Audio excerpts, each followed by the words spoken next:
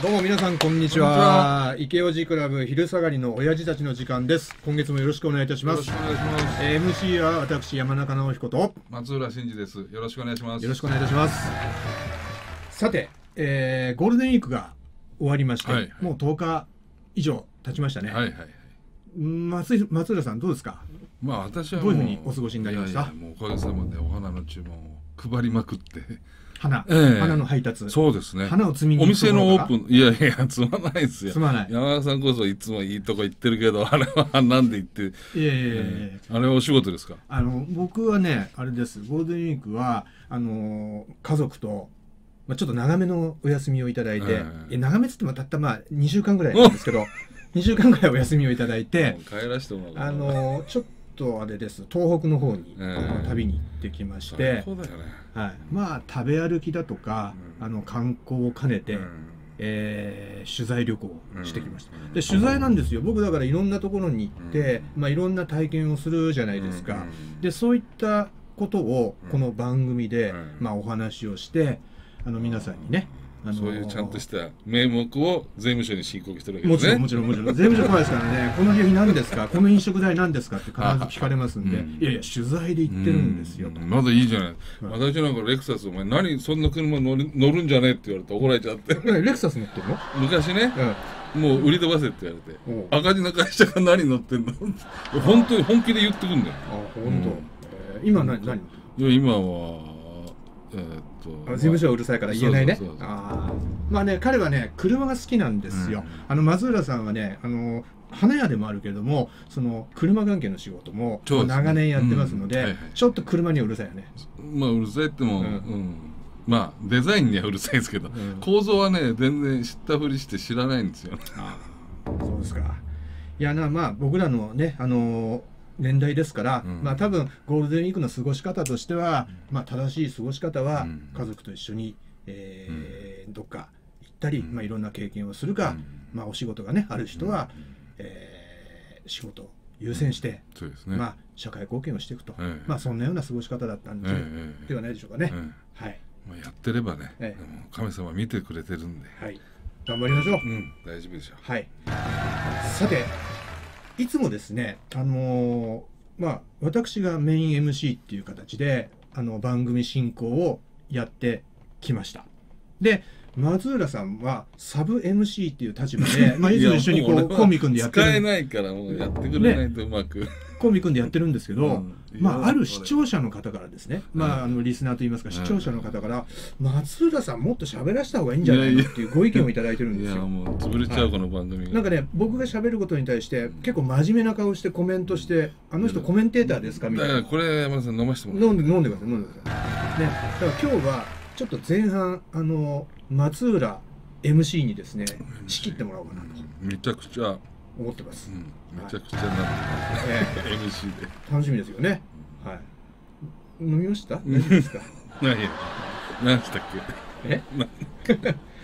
じゃテーマをまずね。テーマ、テーマ、うん。はい。テーマをね、うん。テーマだから、だからじゃあ、じゃあここから先あれですよ。あの皆さん今日はねあの松浦 MC があの、ね。テーマをまず出してきてまあ、それに対してね、まあ、私が受け答えするような、うん。そんな感じでちょっとやってどうでしょう？テーマ、分岐点人生のターニングポイントなんか山田さんどうですか？人生のターニングポイント、うん分岐点。分岐点ね、いいですね。うん、いいと思うじゃあ僕から話しうんちゃって大丈夫ですか、えっ、ー、とね人生の分岐点。僕ねこれねオーバーな話じゃないんですけどね毎日分岐点みたいな感じなんですよあの本当にねもう分岐点だらけで、うん。その都度その都度右行こうか左を行こうかね。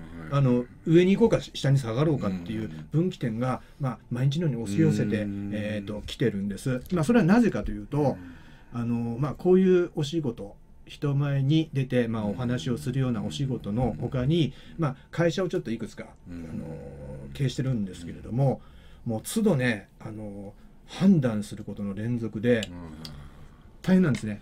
ただ、うん。まああの仕事に関してねあのちょっとうんそういうあのややこしい話しても面白くもないんで、まあ、僕あの長い意味で言うと、まあ、一番大きな分岐点ってねもう本当にあの当たり前のような答えになりますけどもまあうちのあー家内と出会ってあーはいはい。結婚したことが僕の今一番の大きな分岐点だったんじゃないかなって思いますね。うんまあそれはもう間違いない。うん、それなぜかというとね 僕あのうちの家内と,、えー、と知り合ったのも今から20年前なんですけれども、まあままだ僕が30代なんですけども、その頃まあサラリーマンをやってましてね、あのまあ、知り合って結婚しましたと。だ結婚してこのままサラリーマンを続けるべきかそれとも全く違う人生を歩むべきかということをうちの家内に突っ込まれたわけですよ。それで、まあ、僕ふあの深く考えましていやじゃあ新しい人生を歩もうと。一緒に歩んでちょうだいよという話をして、いいね。まあ、そこからそうですね、まあ、20年経ってますからだいぶ人生が変わってあの時がまあ大きな分岐点で自分の人生が180度変わりましたね。いい意味でも悪い意味でもあの変えてよかったなっていうふうに考えてます、はい、ですからそれがまあちょうど20年前僕がまだ30代後半の時です、はい。素敵。素敵です。ね、ね、そのえ？松坂さんはどうなんですか？いや俺はもう本当あの自助伝できるあれだよね。某国内万年2位の日産自動車あ某じゃ日産自動車から、しゃべっちゃいましたね、これね。いやいや間違えちゃった。ゴーン会社だったね。ううん。んそこに購買っていう部署で勤めてて、あまあ勤めてるなんてうち入んないね毎日遊んでた、で業者の発注なんかやっててその業者の人が会社を俺にくれたんですよ。会社くれたの？全て、うん。年間何億何十億って会社を。すごいね。バブルで他のとこがもう何百億だからもうに N 社の仕事なんかやってられねえっつって、ん。でお前いつも一緒に飯食ったりしてるから、韓国の方だったりとかね、お前がやれと、3日で辞めちゃって、ん退職願いを書いて。くれた会社を？いやいやあの某 N 社。をああ、N 社うん。でね。ああ、それで。そこも結構え良かったんですよ部署的には俺の部署は。もうすごく引っ張ってくれて先輩がね、だけども話が来て3日で辞めちゃったねもうね、うん、もうそれはもうターニングポイントって後からはねそれた、その時はもう全くもう辞めるしかないっていうか、もう明日から俺はバラ色なんだっつって、10年ぐらいバラ色だったんですけどね、もうあなたはなかなかもう能力の問題が出てきちゃって世の中がねこうなる、それになかなか合わせるって難しくて。ちょうどあれでしょ、あのバブルの後のね後の方だようねん。要するにね俺らが社会に出たのね。車が、んあのーなんていうのか性能ももちろんそうだけど、軽量化だとか、うん。コスト削減とかもううちの製品がもう思いっきりそれにはまっちゃって、うん。100が0に近い数字になっちゃって、でもう地方とか海外に行かないと、うちの製品はもう成り立たないみたいな、うん。それで撤退して、まあ、こんな今度は花屋とかね、もういろんなことちょろちょろやってるんですけど、まあ、それがもう本当の夢にも今でも出ますよその時が、もう全く忘れずにねこういうせ焼き鳥屋の席で、明日からお前やれと、ああ。その会社をね。そう。譲ってくれたそう。方から焼き鳥屋で。鶴見区の会社でね、うん。今パチンコ屋さんになっちゃってでっかい、でもその、まあ、ターニングポイント、ねうん。になって、うん。そのいいことだとか、うん。悪いことだとか、まあ、いろんなことがあったわけでしょ？うん。ありましたね、うん。どどうなの？ねその今思い出すと、まあ、基本はもう何しろ汗かいてないでもらった金はもうみんななくなっちゃったですよ、あうん、何億も、あ。うん、で自分が冷や汗かいたりね汗かいたりしてるお金だけはうん。かろうじて今 まだカスカス残ってるけど、うん。もう本当面白いもんですよ。だからあれ宝くじでもね、うん。まあやっぱりその通りだ。みんな使っちゃうんだと思うんだよね、うんダメなんですよ。弱くって人間は、うん。悪戦身につかずって言うからね。あ本当にそう、うん。いや本当にそうですから。ね。汗かいた金だけですよ、うん。本当に。いくらねあぶくぜにもらって預金したってもうみんな引き出しちゃうから、うん。うんダメなんだ。うまくできてんですよ。そうだね。だからあのほら子供なんかにもあのよく言うんだけど、うん。ねあのなんか親からもらえると思うなよと、うん。あのお金にしてもね、うん。その財産だとかいろんなものをその親からもらったものって、まあ、子供なんてねあっという間にその溶かしちゃいますからね、だからその自分でどうやってそのお金を稼ぐとか、うん。その幸せを見つけるかっていうことを、その、えー自分で考えるうん。頭、うん。それをこう教えてあげるのが一番なんかうん。いいみたいですね、そう。その今の話ちょっと脱線しちゃうけれどもね、はい。うん。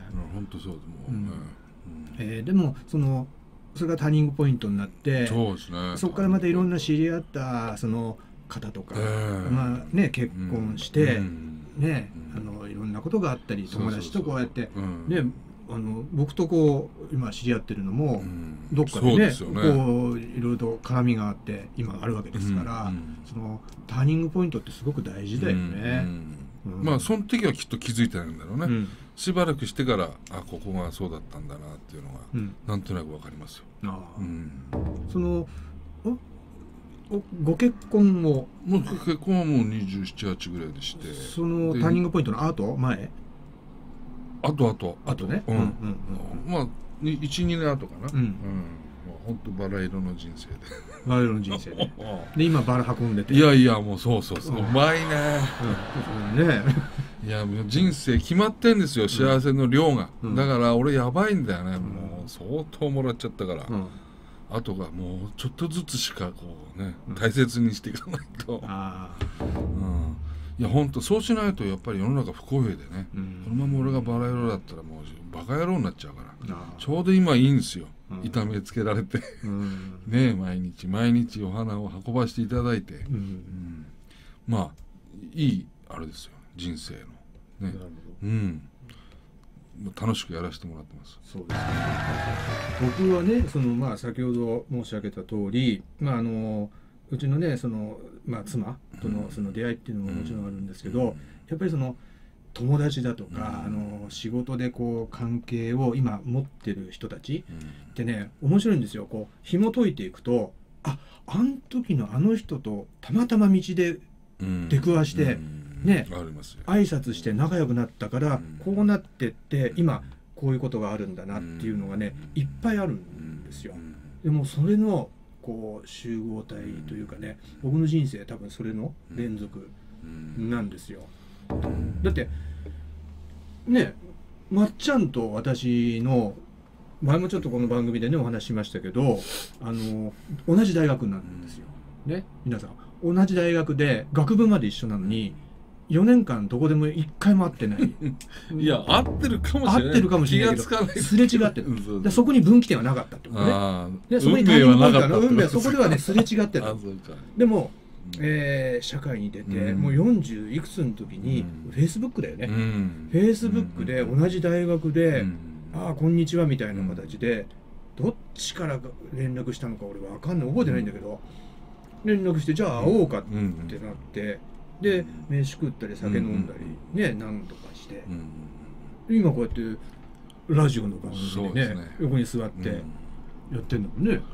これもだから今考えるとあその時のターニングポイントっていうのはそのフェイスブック、フェイスブックありありがとうって感じだもんね、そうですね。うん。そうどうですか？そのそういう人他にもいる、いやいっぱいいますよ、うん。もう男性はねあんまりいない、うん、女性がいる？女性はいるもう今日も朝涙が出そうになって何があったの？まあいろいろ言えないですよ。女性女性の。入れないけど、まあいろいろです でもねやっぱり、うんまあ、全てに愛を感じてうん。生きてられるからまだ俺は幸せなんだと思うんですよ。これがねこの野郎とかひねくれたり、うん。まあ、そうなっちゃったらもう男は終わりだからね、そりゃそうだ、うん、何があっても愛をね感じて、うん、いられればいいかなとは思ってますけどね、うん。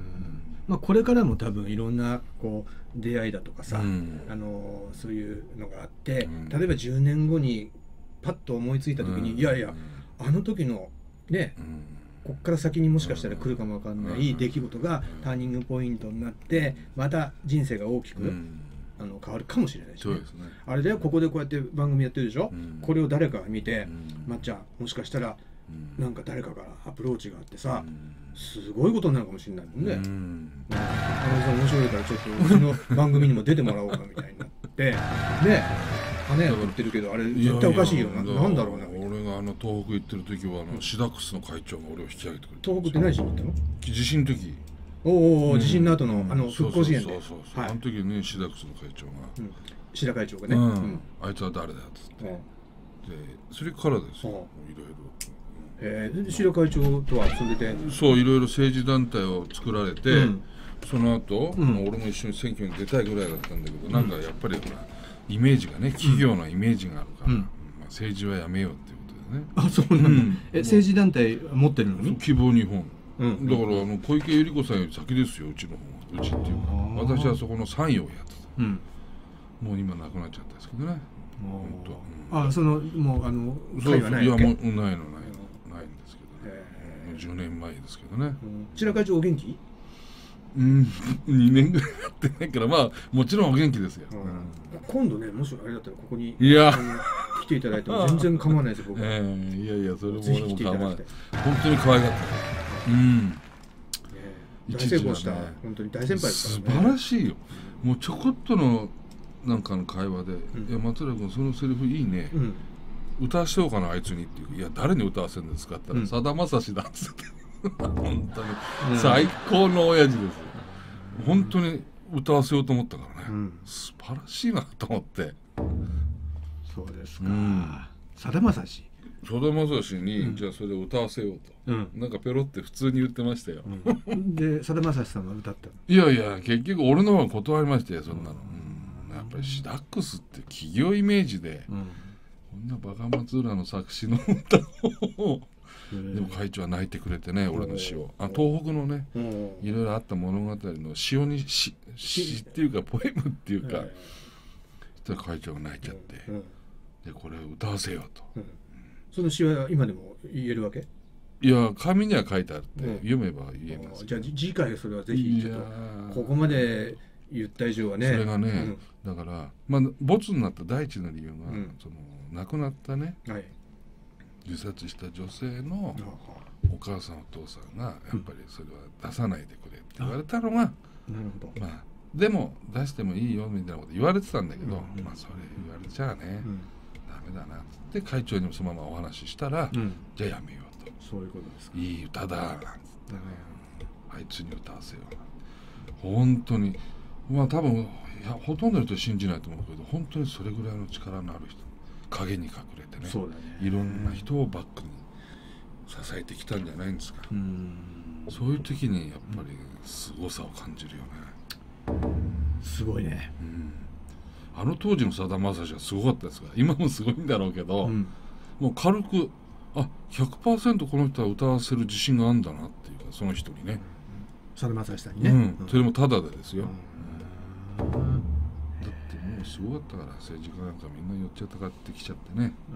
ほんと裏の世界見させてもらって、まあでもあのその東北のね、えー災害の時に、うんまあ、そうやって現地に行って、はいはい。はいまあ、いろんなことを、ね、松浦さんやって、うんうん。今こうやってねあのまたしゃこう世の中がねそのコロナの問題だとかそね。うん。そのロシアとウクライナの問題だとか、うんまあいろいろとあの不穏なことも多いですけれども、ね、これからねどうなっていくんでしょうねもう。うん。もうそろそろいろんなことが落ち着いてもいいような気がしますけどね。そうそうだからなまあ何でもシンプルにね、うん。考えたらもういろんなことでいろんな角度で見始めちゃうと、うん。もうわけわかんなくなっちゃうんで、うん。もう一回原点でね、うん。まあ、ウクライナとロシアがどんな国なんだとか、うん戦争の前のロシアとウクライナはどうだったんだろうとか、うんうんなんか考えないとうん。もう戦ってる連中一生懸命こんなやったって、うん。ふんずほぐれつで、うん。もうみんなその次の昔の話はね、うん。出てこないけどね。まあねその戦争するにはこう歴史があってのうん今だからね。だと思うんですよね。まあいろんなし、ね、そのごだごだごだごだしたものを引きずってってこうなってるんでしょうね、早く落ち着いてほしいなという思いでいっぱいですけれども、うん。じゃあそのまずは前半のターニングポイント、はいまあ、分岐点ということで言うと、まあ、松浦さんとしてはね事業事業を始めたっていうかまあうん。始めまあ仕事を会社をなんかいただいたというか、それが今の自あん分にまり言いたくないんだけどね。つながってるわけですね。うん。もう今のその松浦さんじゃああの時のねその何十年前かがあって今、うん幸せでしょ？もちろん。はい。いや最高に恵まれてますよ。いい。そのね、ポありえないぐいらいの恵まれ方だからポジティブ、ブな生き方がいい、うん。うん。もう俺多分相当普通だったら刺されてるんだと思うんだけど。いや本当に。なんとかギリギリ生かしていただいてるっていうか。最近は真面目にね、うん。動いてるんで、そうやって頑張ってそうですよね。謙虚に生きていきましょう、うん。うんいやいやもう山中さんのフォローがあってのいやいやいや。うん。さてじゃあそのお人生の分岐点ターニングポイントのお話を受けて、えええー一曲じゃあ。はい私はね忘れない日々、えミーシャのねクラブなんか行っててもみんな女性陣があれをな涙流しながら、うん、歌ってましたよ。クラブで？うん。もうすごく俺もねあのずうずうしいから。みんな俺のこと歌ってんだなと思ってとんでもないバカ野郎で。皆さん本当によくね、頑張ってましたよ。はい。昔の女性陣今もそうですけどね、うん。じゃあミーシャのうん忘れない日々を、どうぞよろしくお願いします、もう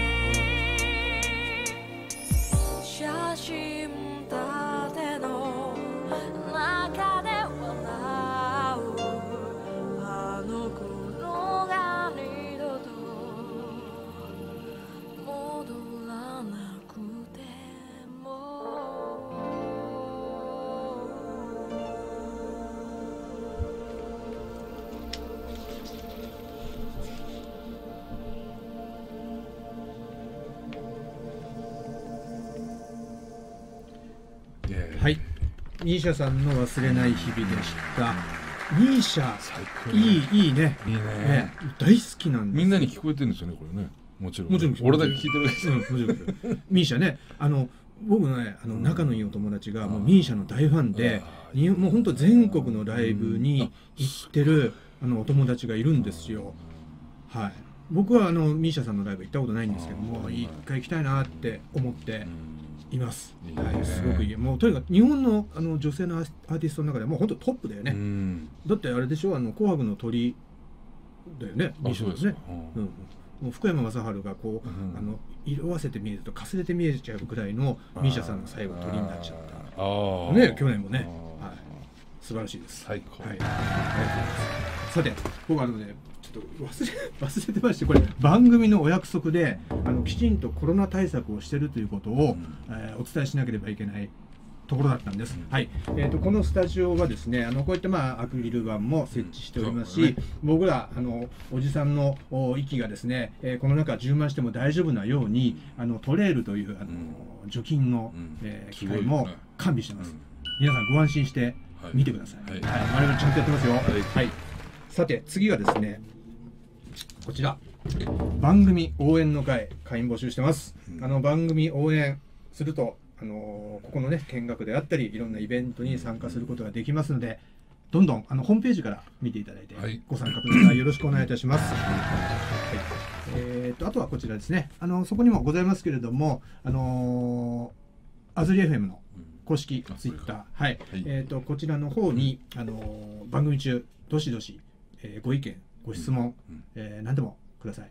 お待ちしてます。で早速来ました。早速、えー我々のお友達からうん。来ました。えっ、と前回の、えーゲストで、うん。いやあの出てくれました。まあ、友人のですね石川まどかさん、はい、まどかはい。はい、あのツイッターありがとうございます。こういった形で、はい、うん。写真まで載っけてくれてらしい、はい、うん。あのあ出してくれてるんですか？ツイッターも出てます。あららら。はいであのちょっと石川まどかさんに関しては、えー、と番組の最後で、うん。えー告知することがありますので、まだ後ほどちょっとお話をさせていただきたいと思います。さて後半はですね、ちょっとまた MC のバトンを私の方に戻していただいて、うん。はい。私の方からあのちょっとテーマを決めてお話をしたいというふうに思っています。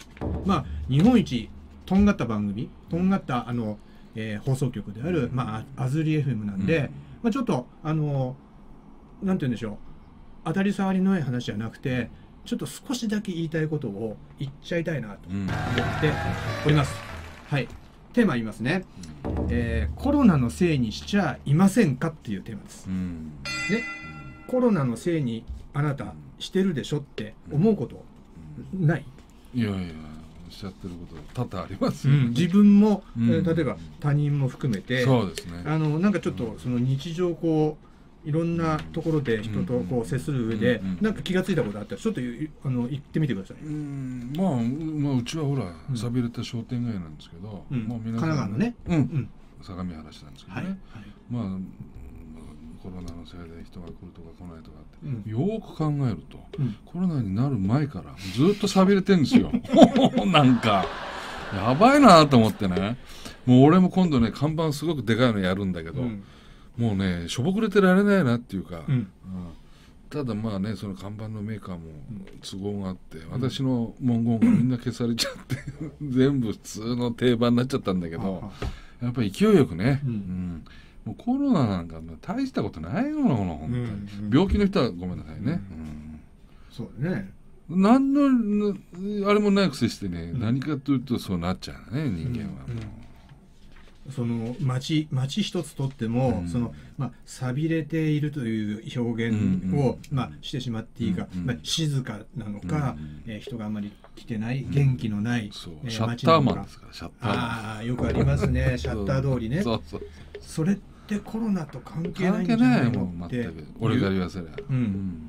ことですね、うん。うちは売り上げ倍増ですから。コロナ前より。それはどういう？いやだから関係ないんじゃない？ただ浸透してきてるから。あ。買う人は買うんですよだから。松浦さんの、うん。要はそう。営業活動が、うん仕事はもう倍増倍増。すごいね、うん。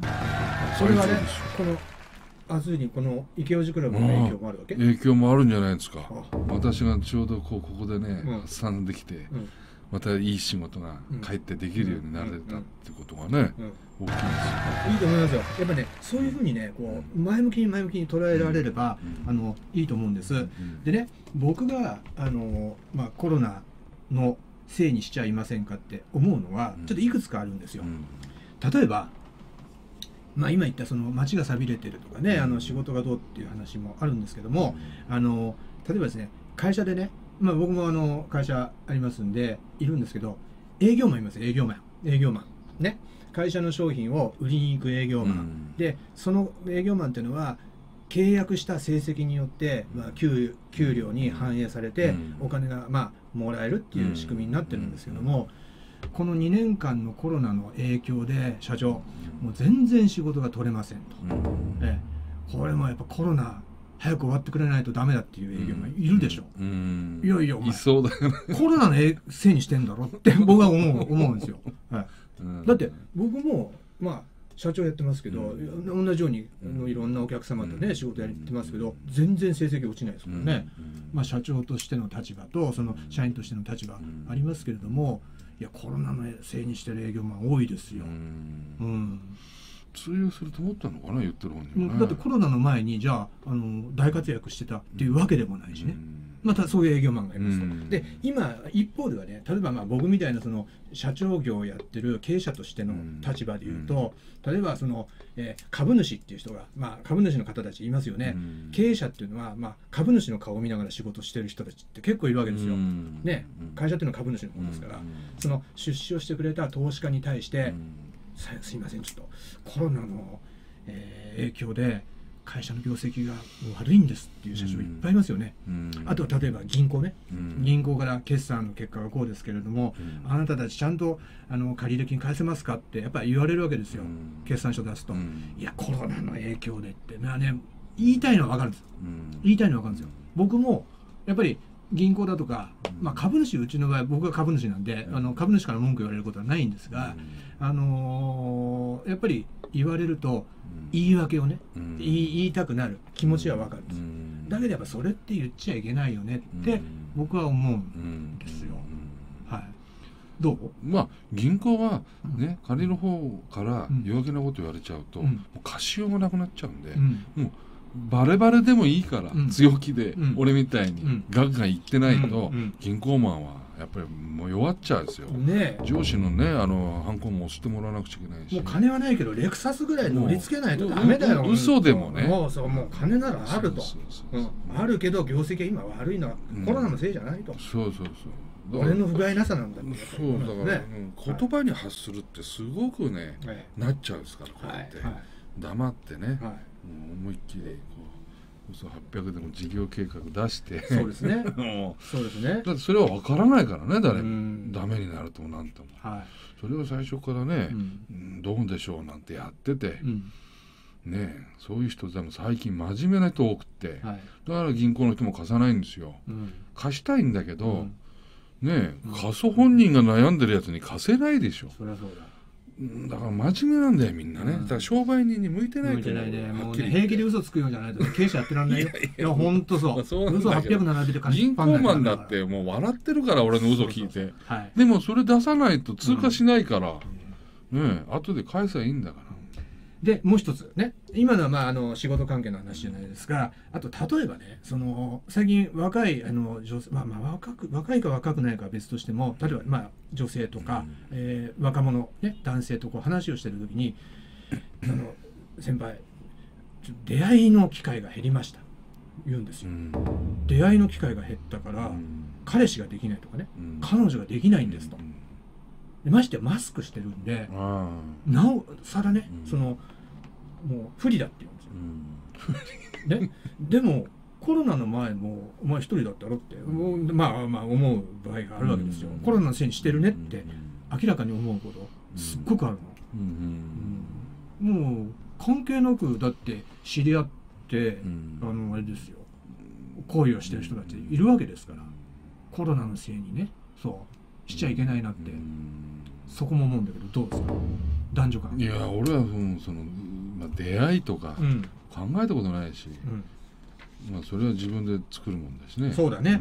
出会いとかねそんなの待ってるよそうじゃダメでしょ。さっきのねターニングポイントじゃないけどその自分でねやっぱそういうそのポイントポイントをね自分で作り出していかないと、その代わり打たれ強くなんかダメよ。もううん玉砕されて帰ってくるんだから、はい、そこでいちいちへこたれてちゃダメだけど。だからまあ婚活だとかその、ね、彼氏だとか彼女が欲しいっていう人は、うんえーコロナのせいにしないで、まあ、自分からその外に出てって、まあ、いろんな人とその、えー距離を 2メートル空けながら、うん。ね、マスクを外して「うん。こんにちは」と、うん。えーやってみたらどうかなって、うん。えー思ってます。それで思ったのはねマスクマスク。うん。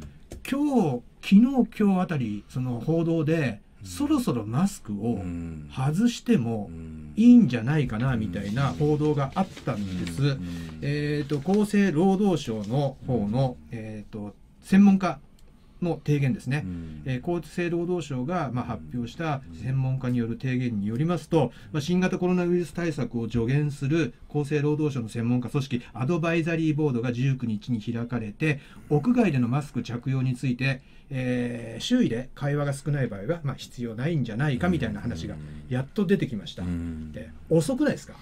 僕は遅いと思う。本当今頃、あのーこんな話になってきていてうん。まあマスク不要の屋外、えー活動。うん。例えば公園での散歩だとかランニングだとか、ね、自転車で、まあ、走る。うん。マスクする必要もともとないなって僕は思ってたんですよ。う。んそれをなんかこうマスクをしなければえーいけないような風潮にまずなってました。うん。これは例えばアメリカなんかはもうマスクしなくていいよって話にもなったし、うん。その韓国だってもうマスクしなくていいですよってうん。一回マスクしなきゃダメだったっていうのを、うん。えーもう今解除してうん。マスクしなくていいよって話になってるじゃないですか。なんで日本は、えーそうなってるのかな、なんであのマスクをしなければいけないのかなって思ったんです。うん。その時にそれをこうマスクをしてることをうまくこう都合よく利用してる人っているんじゃないかなと思ったんですよ。うん。例えばねマスクをしてて顔を見せなくていいなとかってそれって自分にとって都合がいいって思ってる人っていると思うんですよ。うん。あんまり人に顔見せたくない人、うんまあ悪いことした人とかね。うん。あと顔に自信のない人とかね。うん。あとひげ朝剃ってない人とか、うん。女性の場合は化粧しなくていいそれってコロナのせいにしてマスクをすることによってうん。結構ズボラなところをうん。あの自分に対して許してる人っているんじゃないかなと思うんですよ。なんかテレビのあのよくこうインタビューを受けてる街中のねあの人たちをこう見てるとそのコロナがこのウイルスが怖いからとかなんとかって言ってる人に紛れていやもう一回しちゃってるんで外せませんとかね。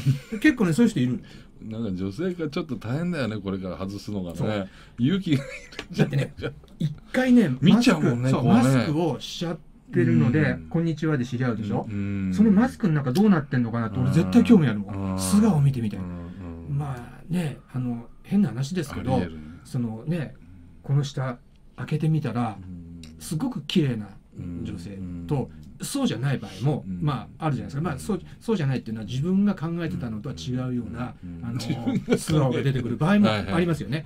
だからあんまりねそこをねこのコロナを都合よく利用してマスクに慣れちゃうと、いざとなった時に自分の素顔を出せなくなるん女ですよ。性は脅威でしょう。ん。ここまでやっちゃうとね。うん。文句言ってる間にはどんどんマスクが綺麗になっちゃってうん。可愛いマスクが出ちゃってうん。ねはい、そう思います。ねはいはいまた届きました？はいこちらですね。はい。ああ、なるほど。今ちょっとあのツイッターでご意見をいただきましたね。うん。マスク美人という言葉もありますよね。うんうん。目力を強くするなど、うん。コロナ禍を逆手に取る方法はいくらでもありますよね。うん。出会いの機会は工夫次第でたくさんあります。うん。これはもう恋愛恋愛問題に、あはいはいえー彼女ね詳しいうん。その石川まどかさんがうん。ツイートしてくださいました。ありがとうございます。はい。そう逆手に取るようにその、うん。まあこれをねいいようにいいようにこうあのできる人は、うん。もうコロナだろうとコロナじゃなかろうと、はい、幸せになるとうん。思ってます。うん。逆にねあの、まあ、僕らのようにこうやって素顔をさらけ出して、うん。まあ、言いたいことを言ってるような立場の人。うん。例えば、まあ、タレントさんとか芸能人とかあとは政治家の先生とか、ね、そういった方たちってやっぱ顔で飯食ってるわけですよ、うん。顔が見えないと絶対ダメージあるわけですよ、うん。だこの2年間で相当やっぱり、あのー思ったような活動もできなかった人たちいっぱいいると思いますけれども、うん。まあそろそろもう、あのー外を歩く時はうん。気持ちよくね天気もいいですし、うん。あのーいい空気吸ってもうマスク外してうん。で建物の中入るとか、うん。お店の中入るとか電車に乗るバスに乗るそういった時はね、まあ、マスクをつけて、うん。あとはもう自由にだってワクチン打ってるんだから大丈夫なはずですもん。3回ワクチン打ってればね。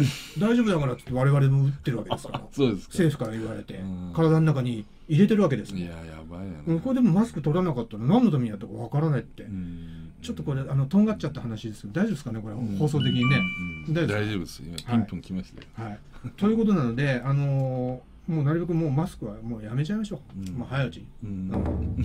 と思います。はい、さてちょっとあんまりここであの言いたいこと言ってると止まんなくなっちゃうんで、えっと1曲。うん入れさせていただきたいと思うんですけれどもうんまあ今ちょっと気分的にこう、あのー言いたいこと言ってる自分がいますので、あのー古い曲なんですよね。これ多分ね僕らの年代の人しか知らないかな、うん。それも僕らの年代でもちょっとあるこうジャンルの人しか知らないかもわかんないですけど、うん。えっと曲いきます、うん。えーアナーキーのえ「Not Satisfied」お願いします。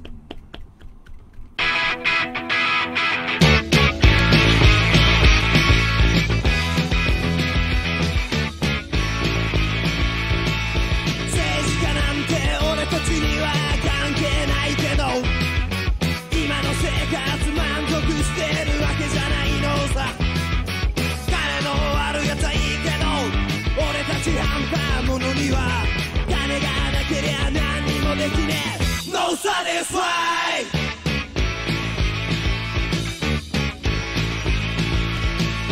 別にこんな歌歌ってもどうなるわけでもないけどバカなやつに狙われたっていいさ歌い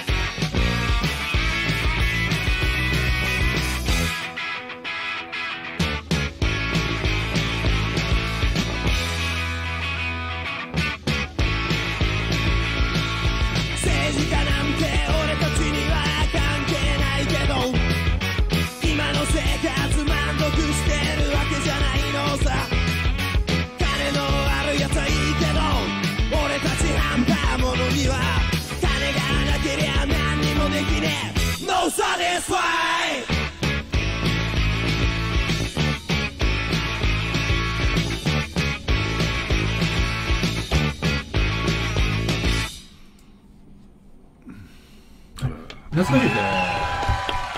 これねあのまあ俺ら多分中学の時でね、うん。中学生の時にあのまあアナーキーっていうこれバンドなんですけどアナーキーねうん。これ無政府し無政府主義とか無秩序っていう意味なんですよ、うん。でそのまあいいろんなものに対して自分たちのこう思いをだとか、うん。そういったものを詩に乗っけて、うん。まあ、歌ってるわけですね、で「 not satisfied」要するに満足しねえよと、もう言いたいこといっぱいあるよと、うん。ね。うん。政治家なんてね俺たちには関係ねえっていう話ないやいや歌わなう歌わない俺学校の先生なんかもうタイトルだったからね俺はねうん本ね当窓ガラス割れてたし。割ってたもんいやいや俺は割らないね。笑わ笑わさせてきた口だよ。笑わさせてた口ね、うん、だからまああの僕ら本当中学の時にこのバンドの曲を散々聴いたし、そのそんな難しい曲じゃないんでギターのあね、コードがうん。2つ3つあれば弾けるような曲ばっかりだったんで、まあ、よく練習したりとかしてうん。歌ってましたけど、うん。まあ、ちょっと、あのー言いたいことを少しみんな、うん。えー言った方がいいんじゃないの、うん。日本人ってやっぱりあの周りの人と同じじゃなきゃ怖いとかね。マスクしてるから自分がマスク外して歩くと変な目で見られるとかって思ってるからダメなんですよ。うん。やっぱりね自分の考えたものはきっちりと言っていく。それから、えー行動に表していくべきだし、うんあのみんなと同じように横並びでやってるともう外国の人たちからもう本当負けちゃいますよ。もうみんなそうだから。うんええあの僕はそう思いますので、ちょっとこの曲をかけさせてもらいました。うんはい。さて今日あのツイッターでこう2回はい、あのご意見をくださったあの石川まどかさん、まあ、僕らの友人なんですけども、あのーちょっと告知といいますか宣伝をさせていただきますと、まあ、前回ゲストで来てくださって、えーこの度、えー鳥越あずり FM で、えー毎月第4火曜日19時19時から、えー19時50分まで、えー彼女が番組を持つことになりました。うん番組名、はい、番組名がチューチュー Tune Tuesday ですね。うんあのーチュー Tune Tuesday。うんチューってあのチューですね。キスのチュー。それから tune は、えーチューニングですね。ラジオですからチューニング合わせましょう。で火曜日ですと。まあいいあのうんネーミングだと思います。はい、であのまあ我々イケオジクラブがうん兄貴分だとすると、えー石川まどかさんの「チューチューンチューズデー」は妹分の番組なので、うんまあ兄妹番組っていう、位置づけで、うん。あのお互いにこう行ったり来たりすることになります。うん。で第1回の、えー来週24日うん。の放送には我々2人がゲストでお呼ばれしてますので、はい。お世話になります。はい行ってこようと思っています。